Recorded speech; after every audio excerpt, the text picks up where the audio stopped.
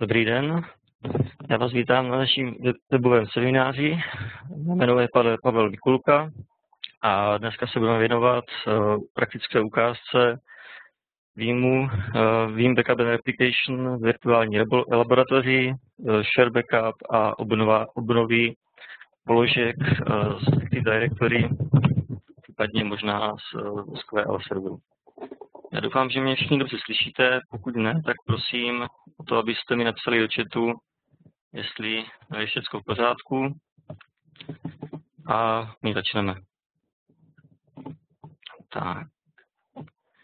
Já předpokládám, že většina lidí, kteří dneska je na dnešním webináři, tak byli na webináři mého kolegy Jardy Prodělala, případně byli už i na minulém praktickém webináři, kde jsme si ukazovali základní nastavení Veeam Backup and Replication, základní nastavení jobu a ukázka obnovy souborů, případně celých virtuálních serverů.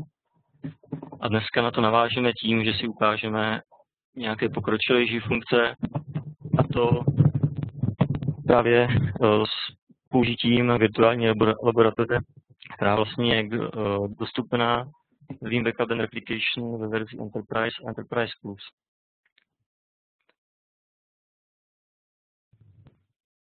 Tak cestovat s Veeam Backup and Replication už nebudeme. Doufám, že to všichni znáte, aspoň základní vlastnosti a dneska jsme tady právě k tomu, jsme si ukázali pokročilejší funkce, takže skočíme rovnou k tomu, co vlastně virtuální laboratoř je. Představte si, že máme virtuální prostředí, kde máme více virtuálních serverů, které spolu nějak můžou souviset. Je to třeba uh, nějaký exchange server, který vlastně může být rozložený na více rolí. A takové prostředí v podstatě je docela složité obnovit, pokud uh, více virtuálů na sobě nějak souvisí, nebo nějak, nějak uh, na sobě různě jsou pospojované, to znamená, že jeden bez druhého nedokáže existovat. Například, když máme Exchange, tak k tomu potřebujeme Active Directory.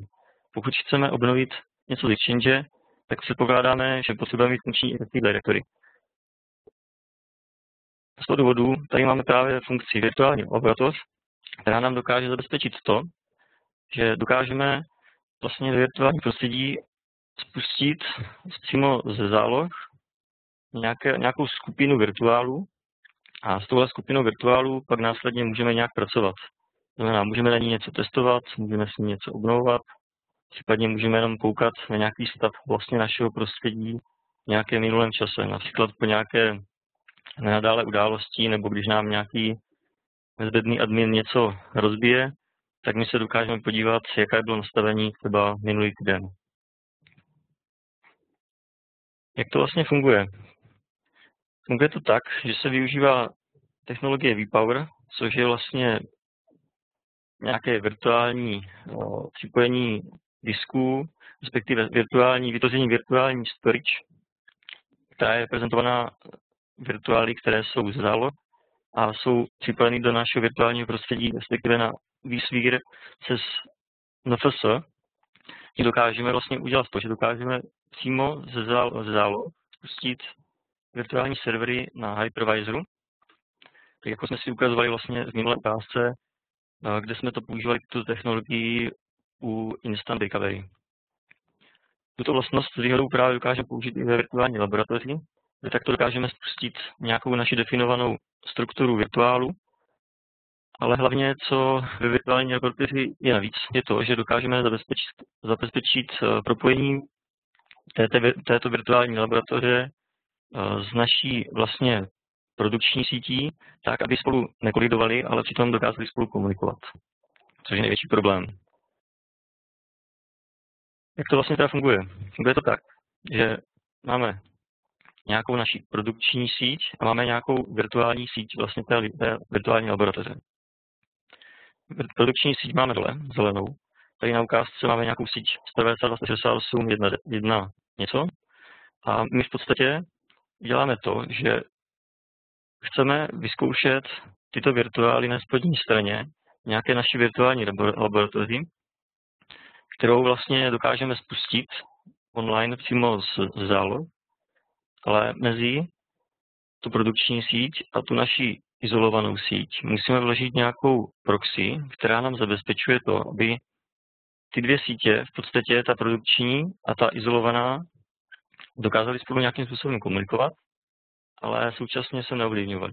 Představte si, že když byste spustili eh, Exchange ze zálohy a dali byste mu stejnou IP adresu vlastně, kterou máte na produkční, produkční síti, tak by to samozřejmě kolidovalo spolu a nic bychom nemohli vyzkoušet, nemohli bychom vlastně reálně ten upravený eh, Exchange spustit do sítě a akorát by nám to tam kolidovalo a nic jsme nic neudělali. Proto tady máme právě Proxy Appliance, která se o tohle stará. My si to ukážeme rovnou v praxi, jak to vypadá. Přepneme se zase do našeho virtuálního labu.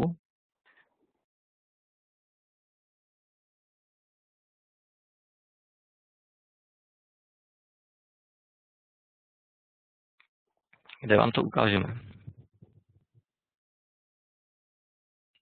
Tak, prostředí Veeam Backup and Replication konzole už známe z minulé ukázky. Zase v podstatě budeme vycházet z nějakého základního nastavení, které budeme provádět na záložce Backup Infrastructure, kde jsme minule vlastně nastavovali Backup Repository a Manage Service. Dneska se podíváme do oddílu Share Backup a přímo do oddílu Application Group a Virtual Lab. Můžeme začít klidně na položce Application Group. Co to je Application Group?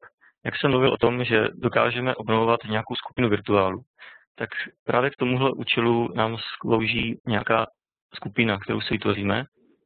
A to může být například, když máme nějaký třeba informační systém, který je závislý na, na doménovém kontroleru, tak my si děláme skupinu například teda Můžeme si to vyzkoušet rovnou. Application Group, třeba informační systém. Co potom uděláme? My do toho, vlastně do té skupiny musíme dát servery, které se této skupiny týkají. To znamená, když to bude nějaký informační systém závislý na doménovém kontroleru, tak my uděláme to, že přidáme do téhle skupiny vlastně ten náš doménový kontroler, takže třeba tento Windows server, Současně víme, že ještě musíme spustit samotný informační systém. Ten třeba může běžet zase na nějakým dalším Windows serveru, případně to může být nějaký Linux, nebo to může být v podstatě cokoliv, co máte sítí a máte zálohované. Takže my si, my si dáme do skupiny například tento Linux server. Co dále vlastně v té, to, téhle skupině můžeme nastavit, je to, eh, jakou vlastně budeme mít roli. My víme, že tento Windows server je doménový kontroler. Takže dáme editaci a dáme mu roli. Že to doménový, kontrol, uh, doménový server, doménový kontroler a současně, že to je i globální katalog pro Active Directory.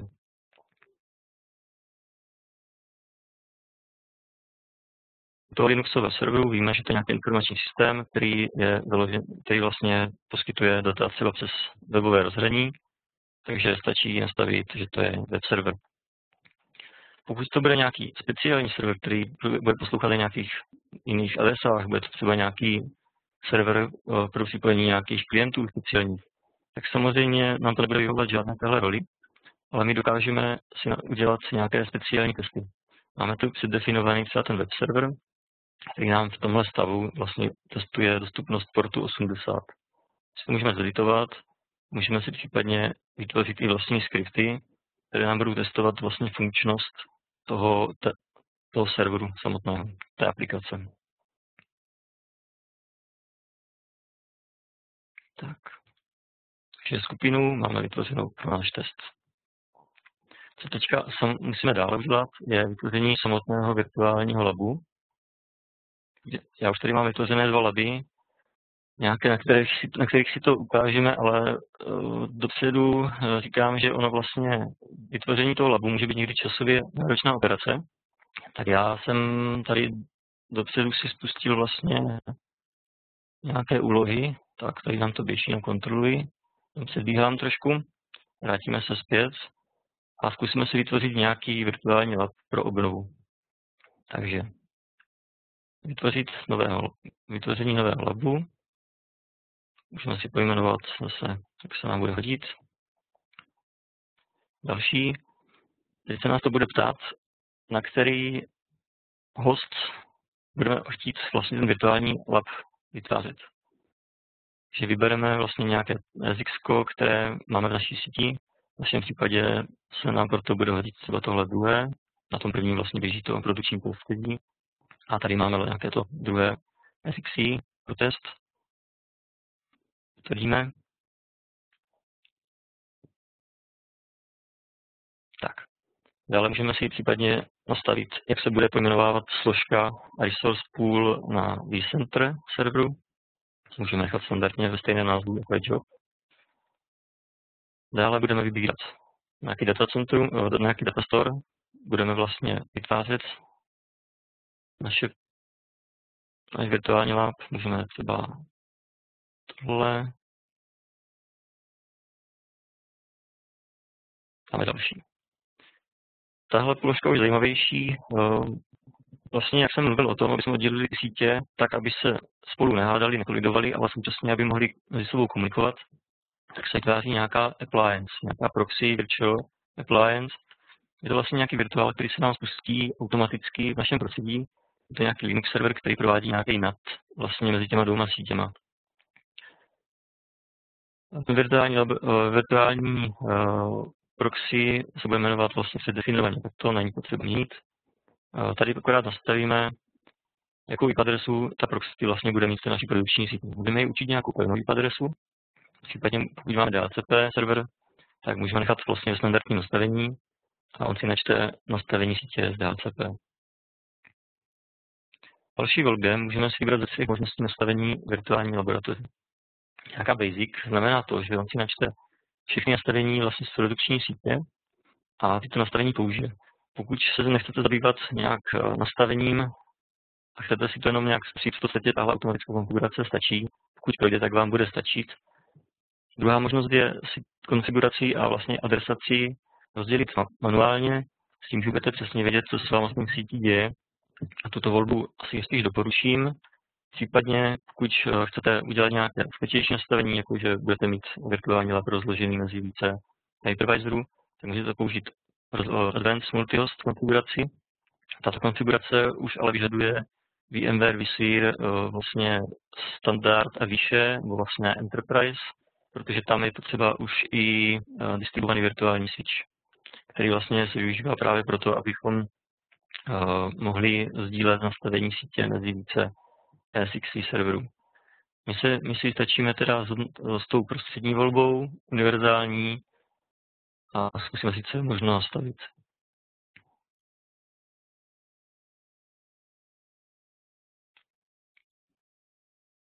Nastavíme vlastně, na kterou síť chceme mapovat, to znamená, že máme ve virtuální prostředí pouze jednu síť, nějakou defaultní VM network, a které se nám vytvoří další virtuální switch automaticky, který se bude jmenovat nějaký Virtual IS VM Network. V podstatě nemusíme měnit, pokud nechceme měnit názvy. Můžeme to položit na nějakou speciální VLANu, ale není potřeba pro ukázku. Tady nastavujeme rozhraní vlastně na té proxy. Zase ono už si to načetlo nějaké standardní nastavení, ale my si můžeme zkusit editaci a můžeme si na tom ukázat, co vlastně ta proxy bude dělat.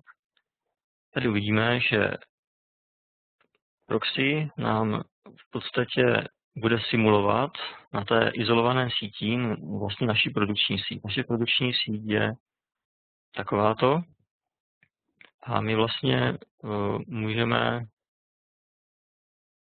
teď v podstatě uh, tady nastavit IP adresu na straně, na straně té uh, izolované sítě, která se bude pro, ty, pro ten virtuální laboratoř tvářit jako brána. S výhodou je tady lepší použít v podstatě IP adresu naší reálné, brá, reálné brány nebo routeru, kterou máme v produkční síti. V našem případě to bude takto. A tady je rozsah, který vlastně se interně používá pro, pro natování. To můžeme nechat na standardní hodnotě třeba takto, anebo můžeme dát cokoliv jiného něco, co nám nekoliduje zase z naší sítí produkční. Můžeme dát další. V dalším kroku si můžeme nadefinovat nějaké statické mapování. Představte si, že spustíte vlastně ve virtuální laboratoři nějaké, uh, nějaké servery vy na nich chcete nějakým způsobem pracovat. Chcete třeba se připojit přes RDP a na nějaký Linuxový server. Chcete si tam něco obnovovat, testovat. Tak vy potřebujete si nějakým způsobem dostat z té produkční sítě na tu testovací, na tu izolovanou. Proto slouží právě tohle statické mapování, kde vy si dokážete na určitou adresu eh, z vaší produkční sítě, to znamená Toto je naše produkční síť. Můžete si namapovat nějakou adresu v té izolované síti. Takže my si třeba chceme udělat to, že na adrese 25 nám bude poslouchat ten uh, server, který v té izolované síti běží na té původní adrese, která vlastně běží v tom produkční, produkční sítí ten webový server například. A tímhle my docílíme to, když my se z produkční sítě napojíme na adresu 25, tak ono se nám to protuneluje, pronatuje do té izolované sítě, která reprezentuje vlastně na té 12 ten náš třeba webový server. Možná je to teďka trošku zmatený, respektive ono je to složitější si to představit, uh, tak jak jsme si ukázali na tom obrázku, je to taková síťazina už taková trošku magie, ale ve výsledku to funguje velice dobře a chytře. Tak, tady doklikáme na průvodce. Co se stane? Udělá, udělá se to, že se zase připojí NFS datastore na náš SXC server a vytvoří se na našem SX serverech nebo v centru uvidíme naši virtuální laboratoř. Když si tady zobrazíme naší strukturu, vidíme, že se nám tady tvořil nový půl. Do toho půlu se za chviličku tady uh, vytvoří vlastně proxy, což je nějaký ten virtuál, který se bude starat o to směrování té sítě. A pak to bude hotové a nachystané vlastně pro testy.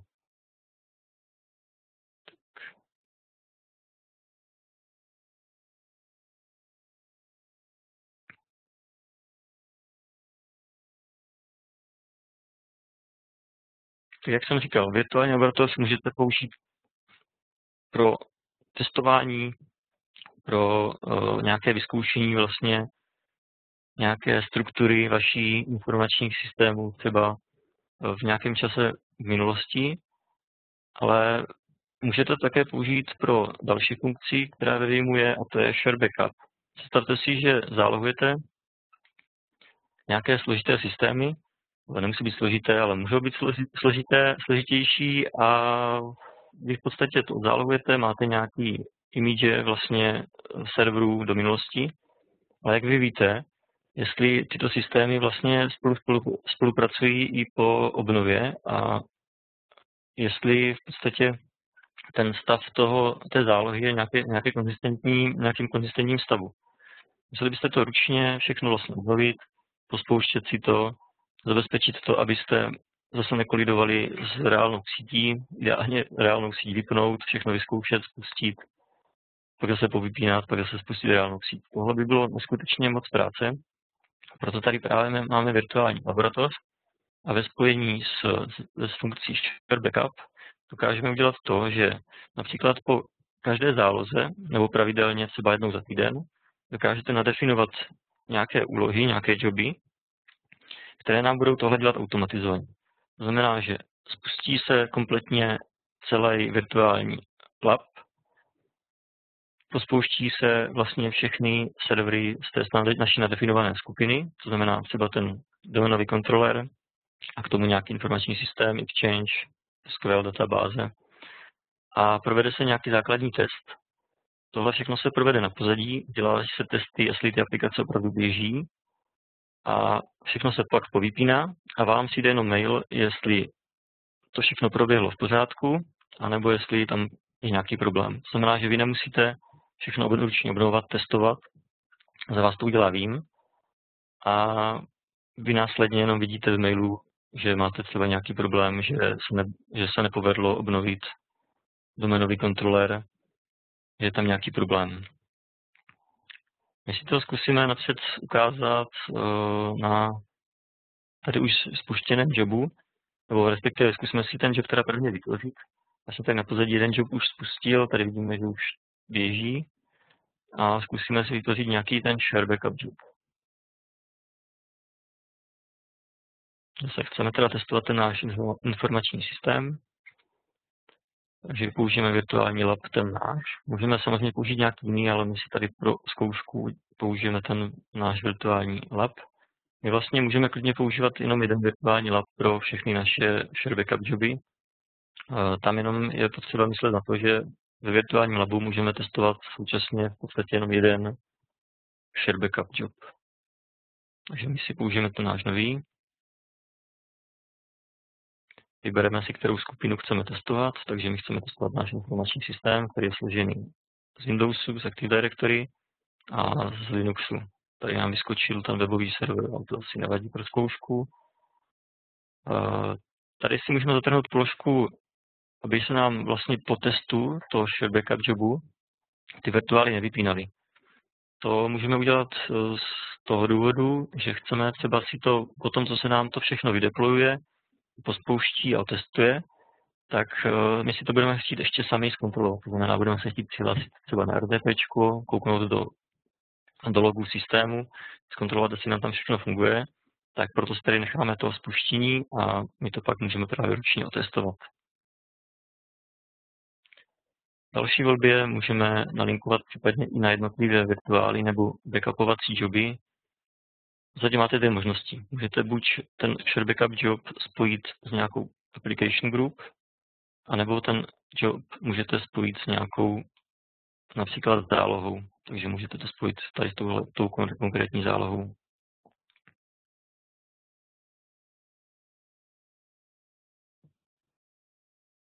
Můžete si poslat po, stejně jako u vlastně záloh, nějaký SMTP trap do nějakého monitorovacího systému, případně můžete posílat maily ještě na nějaký jiný než defaultní, defaultně nastavený mail.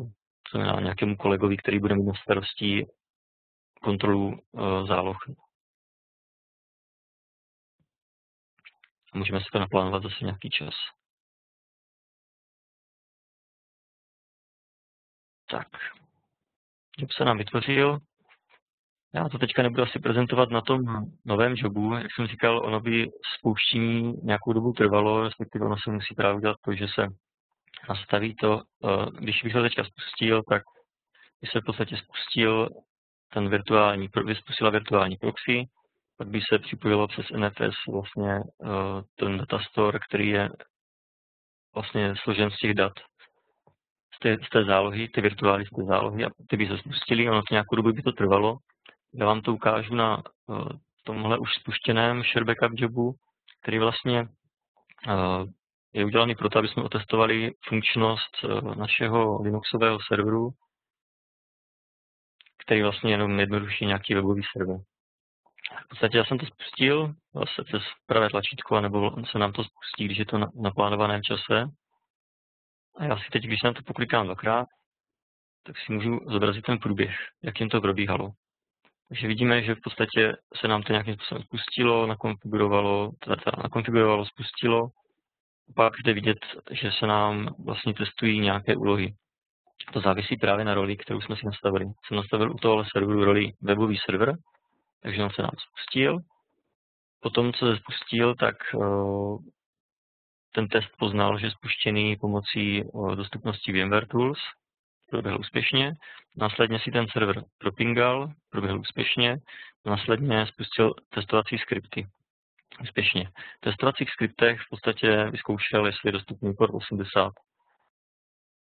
Takže jednoduchý test. Pokud chcete mít nějaké složitější testy, je možné si nadefinovat vlastní skripty, které budou testovat například, že ta aplikace opravdu běží tím, že se tam, že si vyčte třeba obsah té webové stránky a zjistí, že tam opravdu nějaký obsah reálný je pak to prohlásí za úspěch.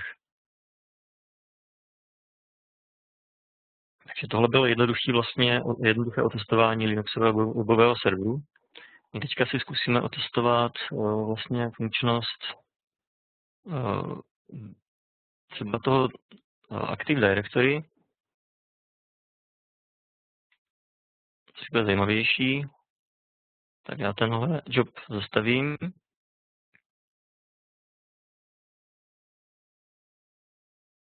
zkusíme si spustit tenhle job Active Directory. A doufám, že mi to projde, protože těsně před začátkem jsem si tady pustil více testů současně a zapnul jsem mi disk, tak já doufám, že když nebude spuštěný tento webový server, nebo respektive ten share backup job na web, takže nám projde tenhle, tenhle job. Tak zkusíme to spustit. Můžeme klidně si ještě vybrat vlastně, do, které, do kterého času to chceme spustit. Tak když dáme start to, tak můžeme si nastavit i nějaký čas, vlastně, ke kterému chceme vlastně to spouštět. Takže můžeme si dát do stavu dnes ve 3 hodiny. OK. A on se nám začne spouštět. Tato operace bude trvat trošku možná díl, ukážeme se ten začátek, jak probíhá vlastně tak, dáme to na bok a ukážu, co se děje vlastně na pozadí. Když koukneme do toho našeho prostředí, tak tady uvidíme, že se nám za chviličku spustí virtuální lab 1. U tohle jobu používáme tento virtuální lab. A následně se vlastně tady v tomhle Verso spoolu vytvoří náš obnovený Windowsový server. Ta obnova funguje, jak jsem říkal, stejně jako u toho uh, Instant Recovery, který jsme si ukazovali v minulé ukázce.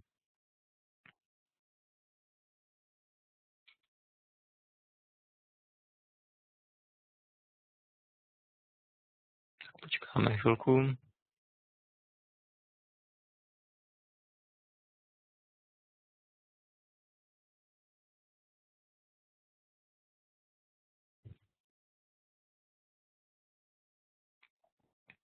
Už píše, že to zapíná, tak koukneme, opravdu zapl. Když si zobrazíme jeho konzoli, což je navíc informace, tak tady uvidíme, že nám opravdu nabíhá nějaký Linuxový server, ale o to se nemusíme moc starat, jenom aby jsme viděli, co to vlastně nám na pozadí tam spouští, abyste strach. Tady je za virtuální servery, které neznáme. Pustil se nějaký Linuxový server, který se stará o komunikaci tě, té izolované sítě s tou produkční sítí. Tak a za chvilku se nám tady spustí vlastně ten obnovený Windowsový server. Pokud jsme v, tom, eh, v té skupině naší měli vlastně těch serverů více, tak v tomhle labu by se teda spustili všechny ty servery z té skupiny a až potom, co by byly spuštěné, tak by se na tom prováděly nějaké ty testy. To znamená teda, že by se počkalo, až se spustí, až, až se spustí domenový kontroler, Následně se otestuje třeba ten webový server, který má ověřování nastavené třeba z toho domenového kontroleru a jeden bez druhého by nedokázali fungovat, respektive ten informační systém by třeba nedokázal fungovat bez doménového kontroleru. Tak tady vidíme, že už se nám vypublikoval ten Windowsový server a připojuje se do prostředí a za chvíličku se spustí. Takže tady vidíme, že tady je nějaký ten Windowsový OGLAB server, což je vlastně tento server, který se nám zde spouští eh, ze zálohy přímo a to vlastně z toho času dnes ráno.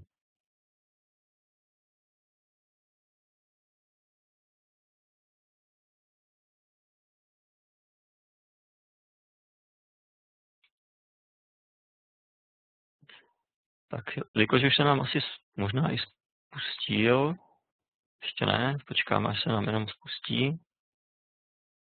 Tak, tady už proběhl power on, takže vidíme, že už se nám spustilo mi přímo vlastně z prostředí toho výmu. Dokážete, můžete kliknout, vůbec nemusíte koukat do toho vSphere klienta. Vy přímo z prostředí toho výmu můžete kliknout zde a vám se otevře rovnou konzole vlastně toho Windowsového serveru a vy klidně můžete koukat přímo na konzoli a koukat, co se tam děje.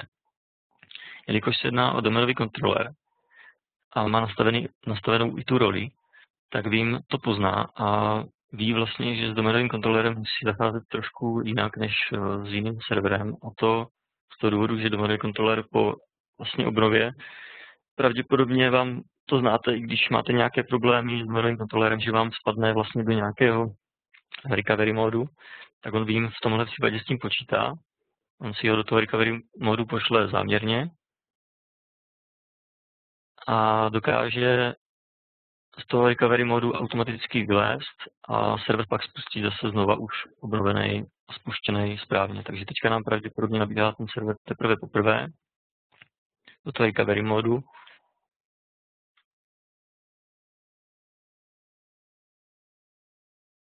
Tak. Zatím nevidíme nic, ale pokládám, že nabíhá.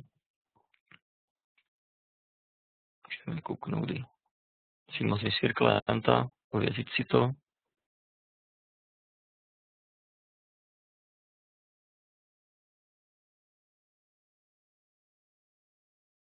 Zatím vidíme černou obrazovku, ale počkáme chvíli. A možná zatím, než, se nám tohle, než nám tohle proběhne, doufám teda, že to proběhne, že to neskoliduje, eh, ne, ne, nespadne na tom nedostatku místa na tom našem datastoru. Tady vlastně máme nějaký to uh, eh, iSCSI pole, kde už teda teďka jsou jenom 2 giga. No, tak snad možná tomu zkusíme pomoct, něco smažeme.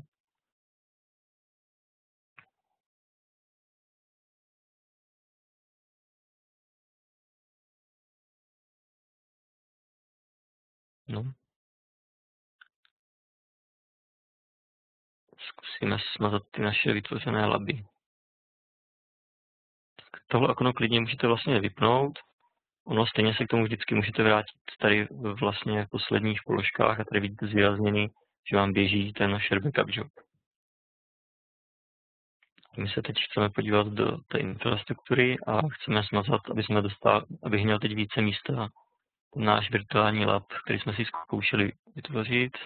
A to zase nepůjde, protože už máme i share backup job. Takže ještě smažeme share backup job, který jsme si zkoušeli. Smazat, ano. A smažeme ten náš lab testovací. Smažeme i o IS hypervisor. No.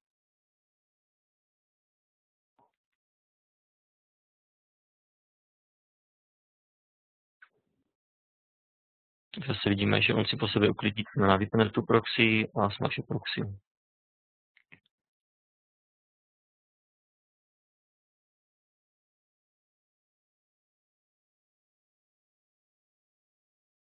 To. Díváme se, jestli nám pokročila nějak obnova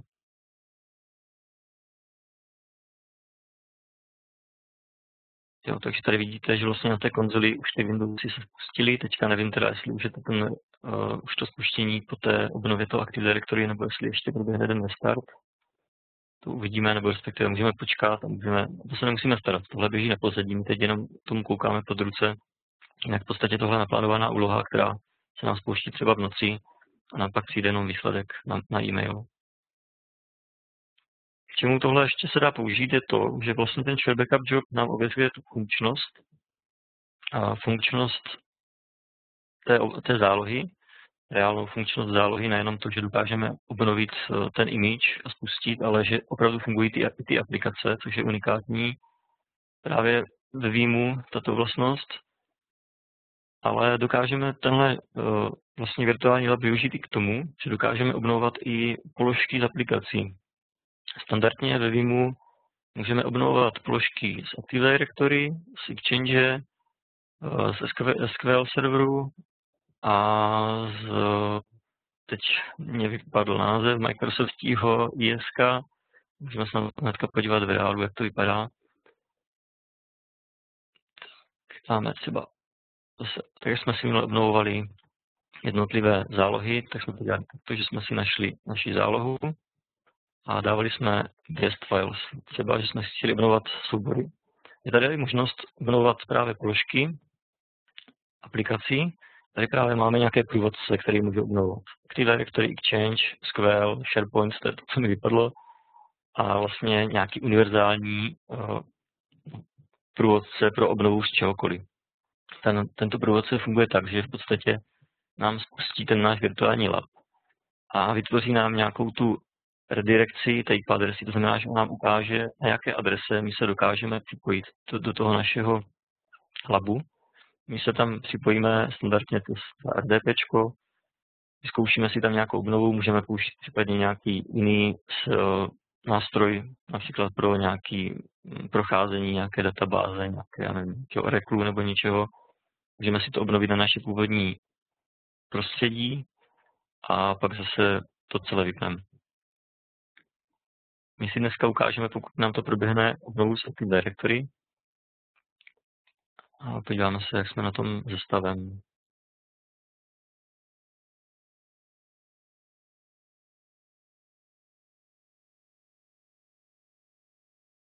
Tak ty Windowsy vypadá to, že zase asi se restartují, tak to by mohlo vypadat to, že vlastně už eh, nabíhají po druhé.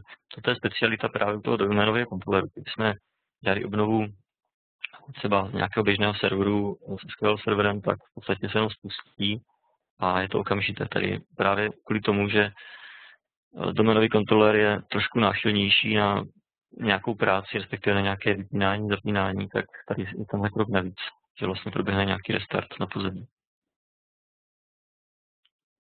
Tady vidíme, že už nám to teda nabíhá. V ideálním případě, pokud nám to doběhne, respektive naběhne ten virtuální server, tak tady nám proběhnou úspěšně naše další testy, to znamená zase test na to, jestli jsou dostupné VMware Tools, pak si to pingne a pak to vyzkouší ten domenový kontroler, jestli je dostupný.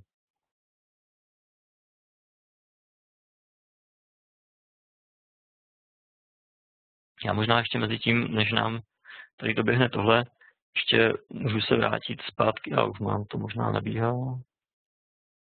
Ještě, ještě to možná, ještě to potrvá.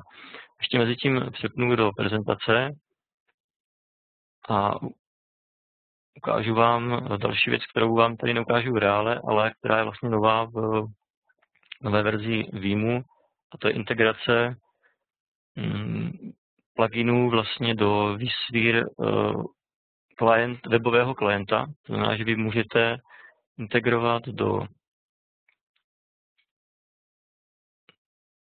moment. Musíme přepnout do té prezentace, jestli to zvládnu. Tak teď byste měli vidět prezentaci a ta takhle nějak může vypadat vlastně ve vSphere webovém klientu plugin, který nám může zobrazovat vlastně z jednoho rozhraní eh, nějaký stav i toho výmovského backupovacího serveru. Není, není možnost tady jakoby nějakého nastavení, respektive tady nemůžete nastavovat joby a běhy, běhy různých jobů, ale můžete sledovat vlastně úspěšnost probíhaných jobů a nějaké obsazené místa a nějakou historii. Tak to jak to vypadá, zase se vrátíme zpátky na náš dálený desktop.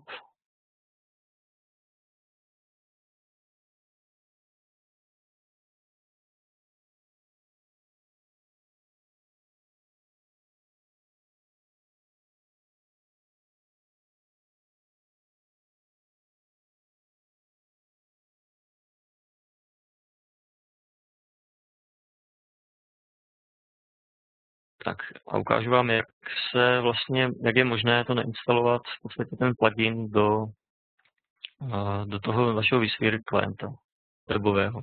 Když se přihlásíte zase na ten náš známý Backup Enterprise Manager, který jsme si ukazovali minule, a v konfiguraci v podstatě jenom zadáte vCenter server, on už tady vlastně je zelený už z toho, že jsme nastavili Vim samotný, a vy tady pak můžete řadit jenom volbu install a to vlastně je vše, co potřebujete udělat k tomu, abyste měli ve vSphere klientovi dostupnou volbu potom uh, plugina. Uh, specialita ale je jedna, která je potřeba, vědět, která je potřeba znát, a to to, že tahle funkcionalita funguje pouze, pokud máte vCenter i Veeam v podstatě připojený, nebo respektive běží na servery, které jsou připojené do Active Directory. Tato vlastnost eh, je kvůli tomu, že jinak nefunguje ověřování napříč těmi servery. Vím, slibuje nebo tvrdí, že v příští verzi už toto nebude úplně nutné, protože ne všichni chtějí mít vCenter napojený do Active Directory. Nicméně teď je to nutné to takhle mít.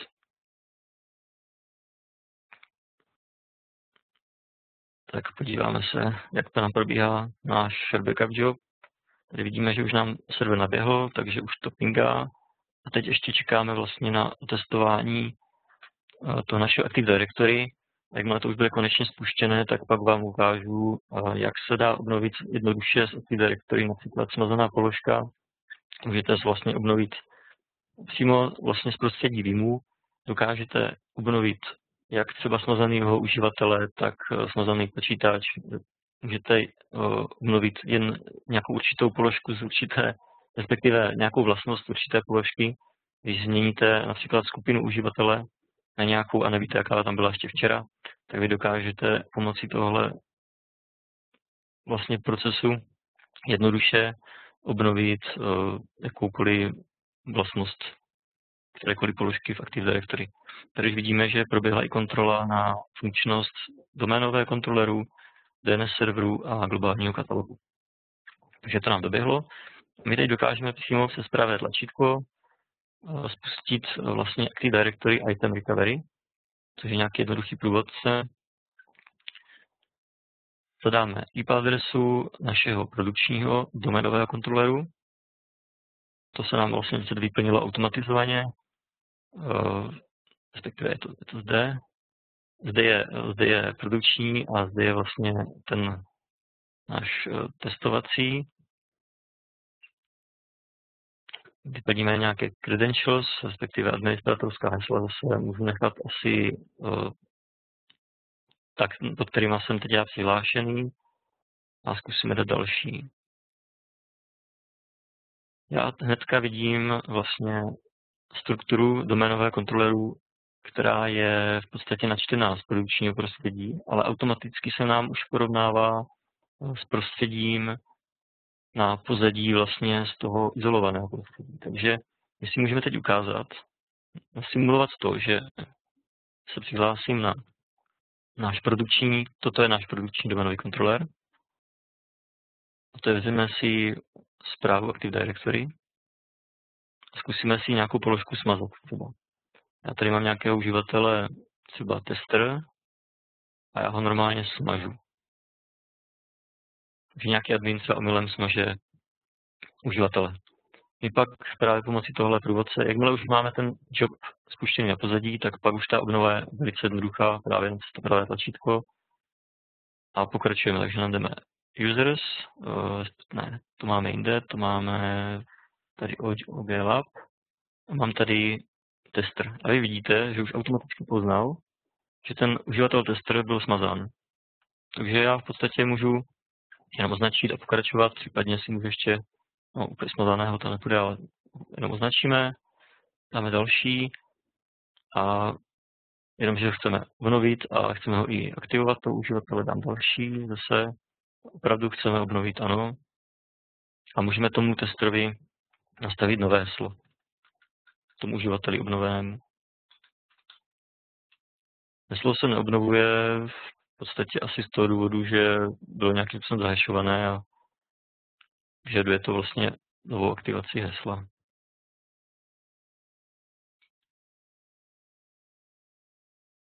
Asi jsem pravděpodobně zadal heslo, které nám povídá politice, takže doménové na sílu hesla, takže nevím, jestli to prošlo, možná, možná to prošlo, akorát možná nenastavilo, nenastavilo aktiv, aktivitu toho uživatele se podíváme zpátky na, na produkční server a když si dáme refresh, tak by tady měl být, jo, je tady.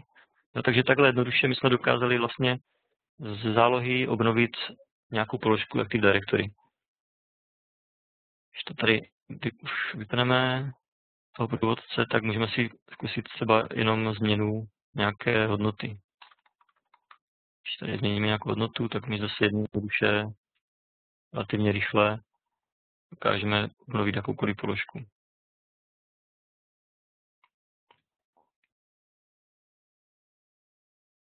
Tester. A tady vidíme, že se změnila nějaká se volba.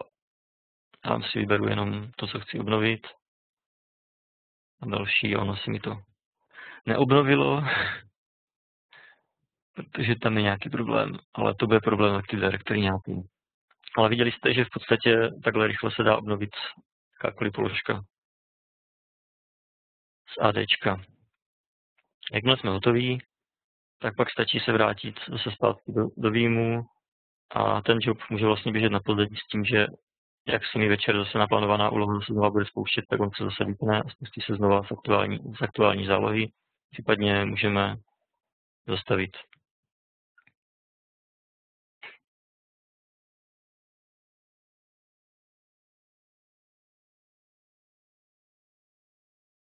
Na pozadí vidíme, že se nám vypl uh, ten Windowsový server. Všechno se nám to uklidí z vSphere uh, klienta, respektive z vCenter serveru. Vyplo se to a máme uklizeno. Takže takhle jednoduché to je. Uh, vlastně tu obnovu ještě je, je potřeba zmínit to, že tady je ještě taková speciální vlastnost v tom, my jsme teďka kompletně celou obnovu zádečka dělali z prostředí uh, Veeam Backup and Replication konzole. Tady je možnost jakoby, delegování práv. Pokud máte IT složené z více nějakých lidí, adminů, někteří mají na starosti uh, zálohování, jiní, mají, jiní zase třeba mají na starosti obnovu a kontrolu z obnovy, tak vy dokážete udělat to, že tomu eh, té, té osobě, která je zodpovědná za to testování, respektive osobě, která třeba eh, může mít právo obnovy položek z ADčka, nějaký správce doménového kontroleru, tak vy můžete nainstalovat pouze průvodce, jednoduchou aplikaci, která se spouští právě, kterou spustí normálně start, vím, obnova z ADčka a tam si naklikne jenom z kterého serveru chce obnovovat tím se odešle žádost vlastně administrátorovi, který má na starosti celý vím. Já vám to můžu ukázat možná rovnou třeba takto. Dáme Windows, dáme obnova application item Active Directory. Teď, teď tu obnovu neděláme vlastně přímo z toho share backup jobu, ale přímo z hlavního okna výjmu. A teď tady vidím, že já zakládám request na administrátora záloh, který bude trvat půl hodiny a já ho odešlu. Určím jenom vlastně, co chci zálohovat, eh, co chci obnovit, takže napíšu mu, že chci obnovovat z Windows, Windows serveru.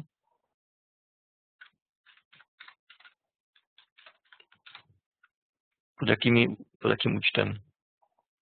Můžu vyzkoušet, jestli funguje připojení na původní DC, ale to teďka nemusíme, to je v podstatě stejný průvod, který jsme si zkoušeli, ale teďka vám chci hlavně ukázat ten request, jak se odešle na toho administrátora. A nevezme mi to.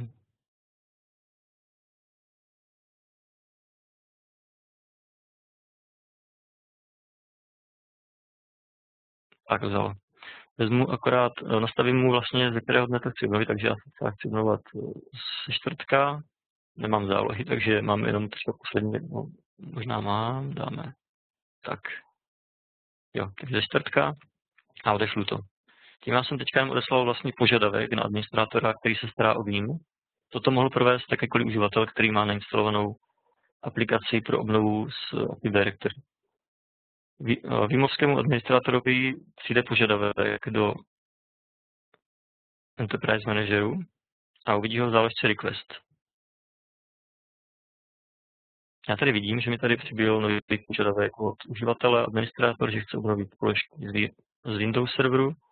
Bude to trvat 30 minut zhruba a já mu to teďka můžu buď odmítnout, anebo povolit. Já když mu to povolím, tak ono, ono mu na té jeho vlastně ploše, kde má ten vím a kde má toho průvodce, tak ono mu tam vyskočí vlastně uhodí upozornění, eh, administrátor ti to povolil, na pozadí se spustí v podstatě zase uh, kompletně ten share backup job, to jsme si prováděli ručně. To všechno uživatel nemusí vůbec vidět, ale to se na, pozadí spustí.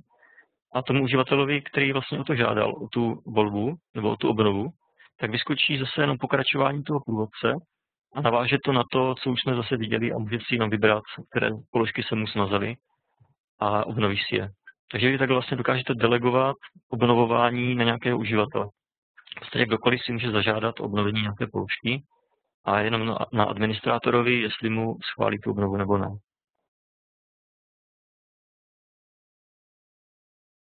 Takže to je asi všechno, co se týká toho share backup jobu, respektive téhle funkce. Ukázali jsme si obnovu z ADčka a to bude asi tak všechno.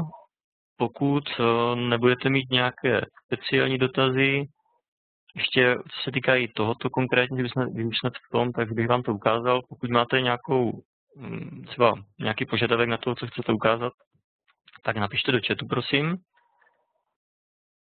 A já vám to případně ukážu rovnou a jinak přistoupím, přistoupím asi k nějakému ukončení.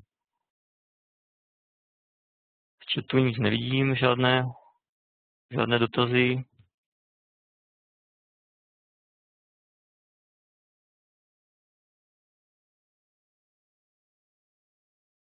Tak já se přepnu zpátky do prezentace. No, těch informací možná bylo docela dost. Já vidím, že někteří, vlastně, kteří jste tady na webináři přihlášení, tak používáte už vím. Někteří ale pouze ve verzi standard, tak asi jste viděli možná funkci vlastně share backup a virtuální laboratoří nově. A ono to může vypadat docela, jakoby na první pohled je to super v tom, že z pohledu uživatele je to hrozně jednoduché. Jak má člověk začne přemýšlet nad tím, jak to funguje na pozadí, tak už to tak jednoduché není. A může to být možná trošku matoucí a některé věci, které jsem ukazoval ohledně těch nastavování, nastavování IP adres a tak už není jakoby asi tak uh, důležité, abyste úplně přesně věděli, ale už tady máme nějaké dotazy. Tak, uh, provoz V7 je tedy limitován na vSphere 5.1, není. Respektive takhle, verze, v, verze Veeam V7 můžete používat i na starší vSphere servery, nevím teďka od jaké verze přesně, ale asi 4.1 by tam mohlo fungovat snad všechno, uh, takže 5.0 100% všechno. Co se týká teďka nové verze vSphere 5.5, tak tam pozor, tam není Veeam ještě kompatibilní, Vím, vSphere 5.5 vlastně vyšel nedávno a pracuje se teprve na testování kompletním compatibility Veeamu s verzí 5.5, což by mělo být s tím, když vyjde update 2. Teď vlastně minulý týden vyšel VMW, uh, Veeam Backup and Replication verze 7 update 1, který upravuje nějaké chyby, které se ukázaly, nějaké, ale netýká se to nějakých uh, velkých chyb, je to spíš nějaké opravy nějakých minoritních věcí. A ve verzi Update 2 už by měla být podpora verze vSphere 5.5.